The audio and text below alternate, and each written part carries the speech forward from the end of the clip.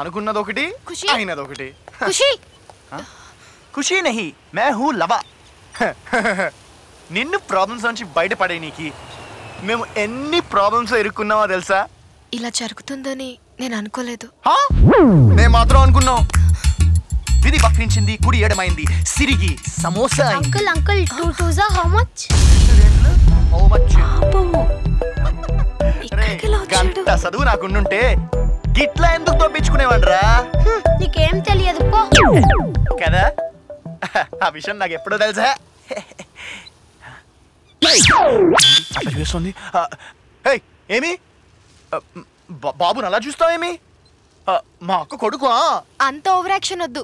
పేపర్లో టీవీలో బాబు యాడ్ నేను చూసాను చూసేసావా? నువ్వు అన్నీ చూసేస్తావు! అది కాదు మ్యాటర్. గంట క్రితం ఆ ఐటమ్ రాజా దగ్గర ఉన్న బాబు ఇంతలోపే మీ దగ్గరికి ఎలా వచ్చాడా అని. ఐటమ్ రాజనా. గా ఐటమ్ గాడేవుడు? బాబాడికి ఎలా వెళ్ళిండు? మొన్న కుశాల్ నాకు ఇచ్చిన చైన్ అండ్ రింగ్ ఇద్దామని పొద్దున్న ఇక్కడికి వచ్చాను.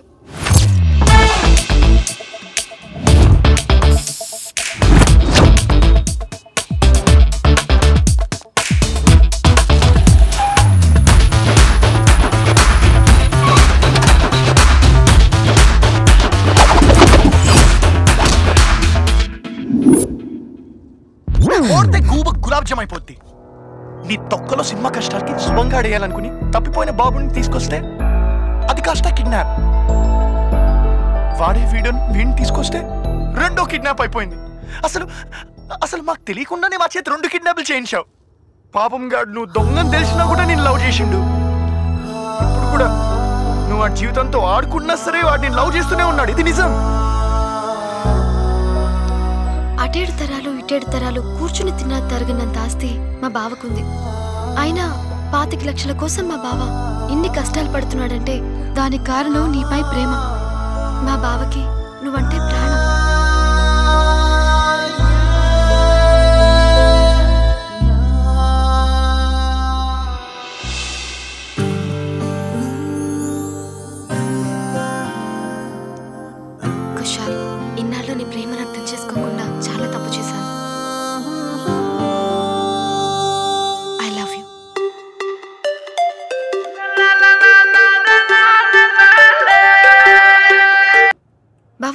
ఓసారి చూడు.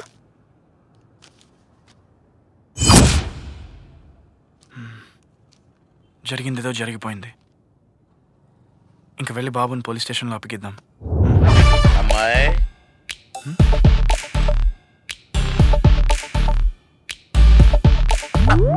అమ్మో అమ్మో అమ్మో అమ్మో. ఒరేయ్ ఈ అబ్బాయిని కిడ్నాప్ చేసింది మీరే కదూ? మీరే రోయ్. మిమ్మల్ని వదలా మిమ్మల్ని వదలరా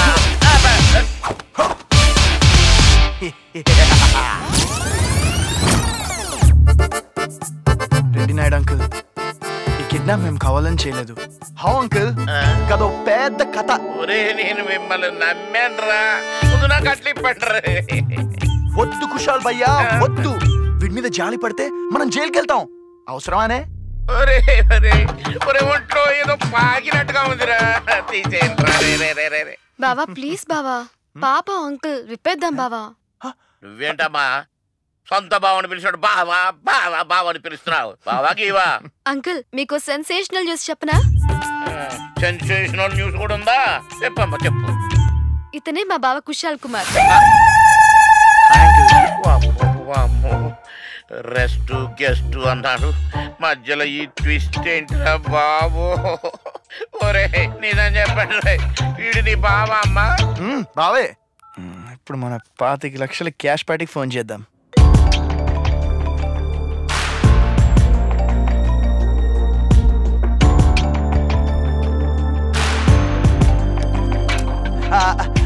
సార్ యాక్చువల్గా మీరు పేపర్లో యాడ్ ఇచ్చారు కదా బాబు గురించి. గా బాబు మా దగ్గరే ఉన్నాడు సార్ సేఫ్గా. మీరు ఎక్కడ తీసుకురావాలో చెప్తే మేము అక్కడ తీసుకొచ్చి అప్పగిచ్చేస్తాం వాడిని పట్టిస్తే పాతిక లక్షలే చంపేస్తే కోటి రూపాయలు ఇస్తా.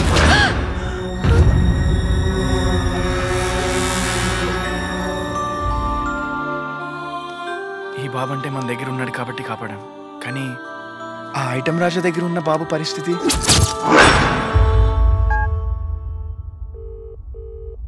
అరే తంబి పోరోడ్ను పట్టిస్తే యాభై లక్షలు ఇస్తానని పేపర్లో ప్రకటించిన పోరోడు ఇక్కడే ఉన్నాడు. పైసలు పట్టుకురా పోరోడ్ను పట్టుకెళ్దు ఎన్నిసార్లు చెప్పాలరా? వాడిని పట్టిస్తే పాతిక లక్షలే చంపేస్తే కోటి రూపాయలు ఇస్తా. కిడ్నాప్ నుంచి మటర్ ప్రమోషన్ ఇచ్చాడేంటి? ఏమో అన్నా మళ్ళీ అడుగు.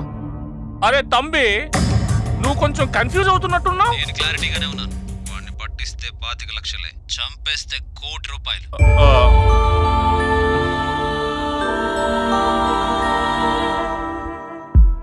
నేను క్లారిటీగానే ఉన్నాను. వాడిని పట్టిస్తే పాతిక లక్షలే చంపేస్తే కోటి రూపాయలు.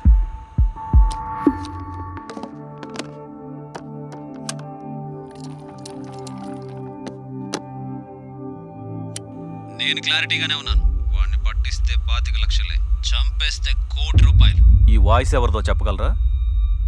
ఈ వాయిస్? ఇది మా విశ్వ వాయిస్ అండి?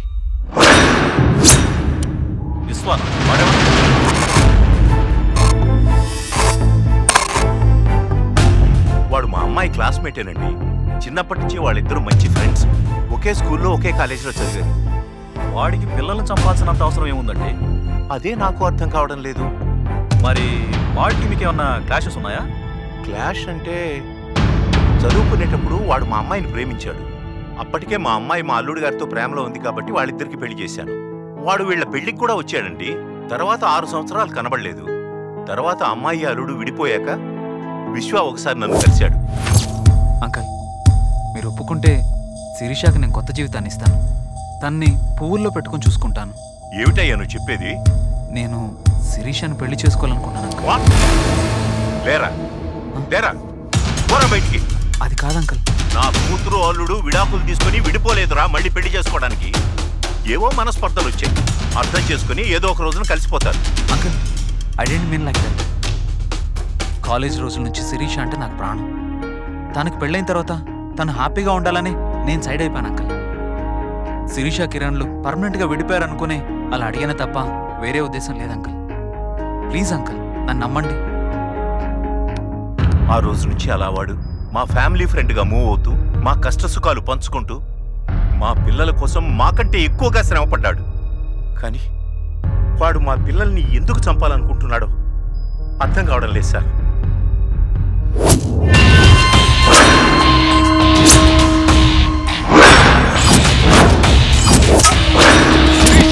ఐ లవ్ యూ నీకోసం నీ ఆస్తి కోసం ఎన్ని రోజుల నుంచి ట్రై చేస్తున్నానే?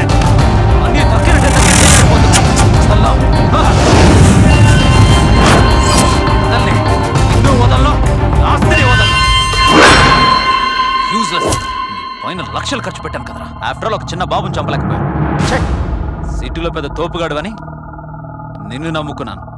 నీ బదులు ఈ గల్లీ రౌడీని నమ్ముకొని ఉంటే ఈ పాటికి పని అయిపోయింది అసలు జరిగింది ఎవడెవడో ఫోన్ చేసి కుర్రాడు మా దగ్గర ఉన్నాడు మా దగ్గర ఉన్నాడు అంటున్నారు. ముందు వాళ్ళు ఎవరో తెలుసుకొని పని చూడు. బా!